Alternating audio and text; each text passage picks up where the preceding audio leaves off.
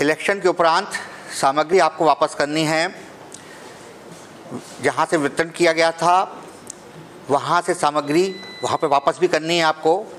लेकिन जैसे कि आपको बताया गया है कि सामग्री तीन जगह से मिल रही है, लेकिन बीआईटी की सामग्री और सेज बाहर, दोनों की सामग्री सेज बाहर में ही जमा होनी है। सभी विधानसभा की सामग्री सेज बाहर में जमा होगी। हमारे हर विधानसभा के हिसाब से काउंटर बने होंगे। और किस काउंटर पे कौन सा मतदान दल आके अपनी सामग्री जमा करेगा? पहले ये सुनिश्चित कर लीजिए। और सुनिश्चित होने के बाद आप अपनी सामग्री को छः सेट में बांट के लाए हैं। तो वो सेट बट के लाना बहुत ज़रूरी है, क्योंकि अगर वैसे सेट नहीं लाएँगे तो आपको दिक्कत हो सकती है। ये बात ठीक है कि हमारे पीठासीन अधिकारी जो हैं, वो सुबह साढ़े पाँच पाँच बजे से ले कर साढ़े तेरह, चौदह घंटे काम कर रहे हैं। और आप सामग्री जब प्राप्त कर रहे हैं तो आप उनकी मानसिक स्थिति को समझ सकते हैं, है? तो उनसे आपको बड़ी शालीनता के साथ व्यवहार करना है। अगर किसी चीज़ की कमी है तो बहुत ही सम्मानजनक तरीके से उनको बताना है कि आप इस चीज़ को पूरा कर दीजिए। तो आइए हम वो सेट देखते हैं जो सेट छः सेट बनाए गए हैं। सबसे पहले सेट में आते हैं हमारी तीनों मशीनें, सी यू, बी यू और वी पैट।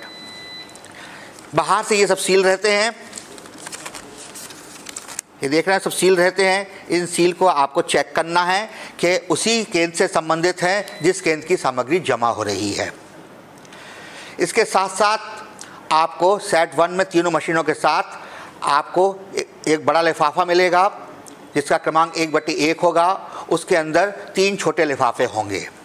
तो उन तीन छोटे लिफाफों को निकालिए। सब छोटे लिफाफे खुले आएँगे। जैसे ही आप बड़ा लिफाफा एक खोलते हैं, आप उसके अंदर तीन लिफाफे मिलेंगे।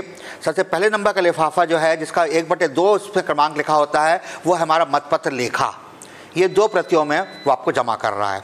आप उसको चेक करेंगे, उसमें देखेंगे उसके सही बिंदु बिंदु क्रमांक एक, बिंदु क्रमांक दो, और लास्ट में बिंदु क्रमांक सात में मेल खाती हुई मिल रहा है कि नहीं, कुल उतने वोट हैं कि नहीं, और ये चेंज नहीं होगा, क्योंकि इसकी एक प्रति हम अभिकर्ता को देते हैं, अतः इसमें कोई भी परिवर्तन आपको नहीं करना है।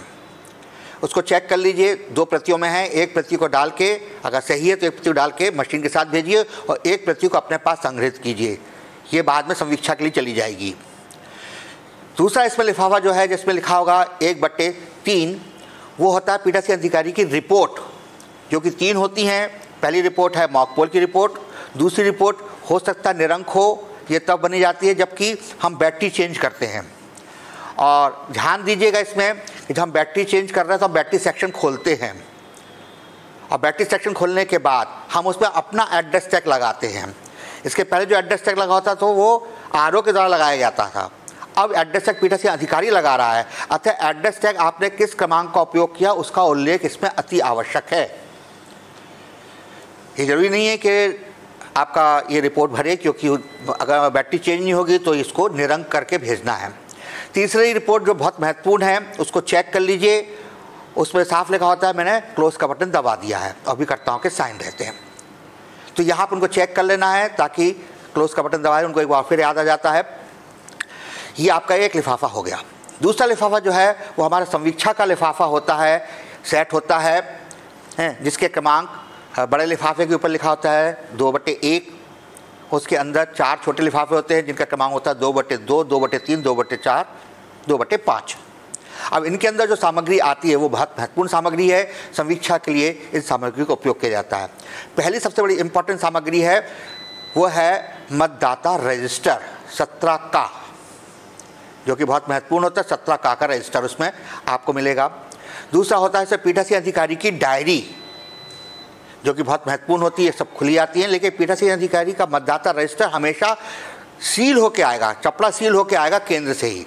और पीठासीन अधिकारी की डायरी खुली आएगी, जिसकी दो प्रतियाँ होती हैं। एक प्रति उसी लिफाफे में चेक करने के बाद रखेंगे और दूसरी प्रति आप कंप्यूटर सेक्शन में भेजेंगे रिकॉर्ड करने के लिए।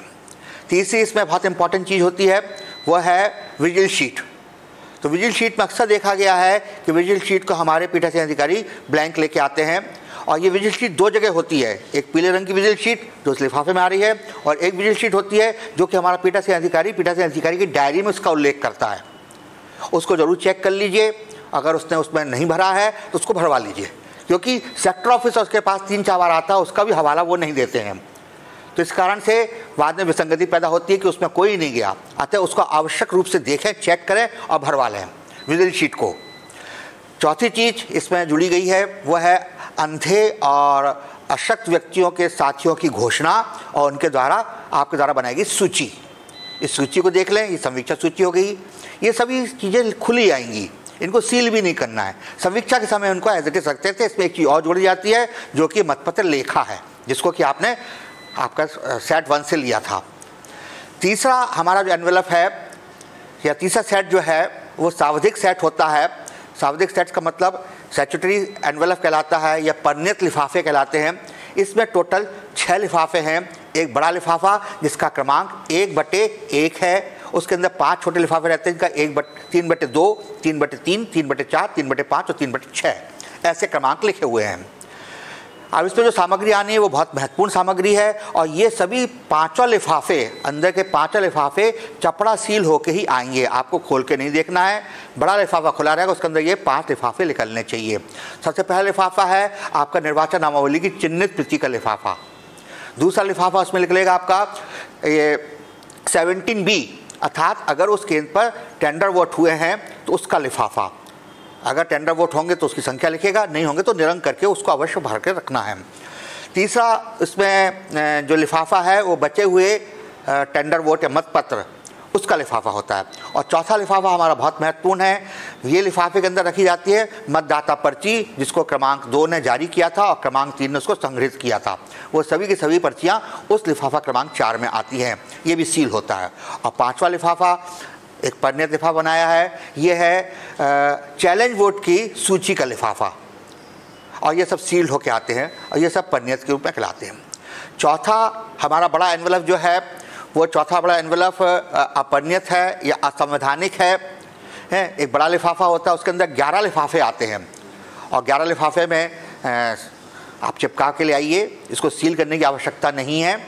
हैं, और देख लीजिए ग्यारह लिफाफे अंदर हैं कि नहीं। और हर बड़े लिफाफे के ऊपर ही लिखा है कौन कौन से ग्यारह लिफाफे उसमें आने हैं। जिसमें घोषणा है हरिपत मुद्रा का लिफाफा है डेस्टेक का लिफाफा है, अन्य वर्किंग प्रति का लिफाफा है।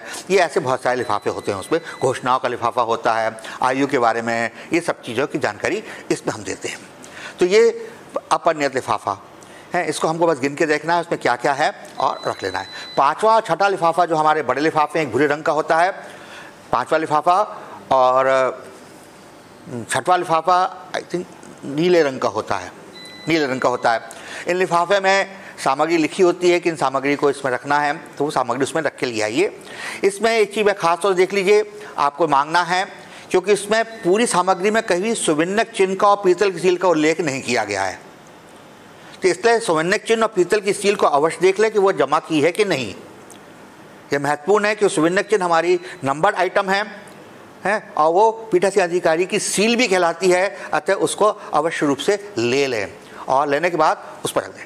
दूसरा, आपको वहाँ ये भी चेक करना है, जो बहुत ही महत्वपूर्ण है, क्योंकि हमने सभी पीठासीन अधिकारियों को बताया है कि चुनाव के उपरांत वी पैड से उसकी बैटरी को निकाल लिया जाए उस बैटरी को निकाल के कागज़ में रैप करके पाँचवें लिफाफे के अंदर, पाँचवें उसके अंदर डाल के दे दें या अलग से दे दें।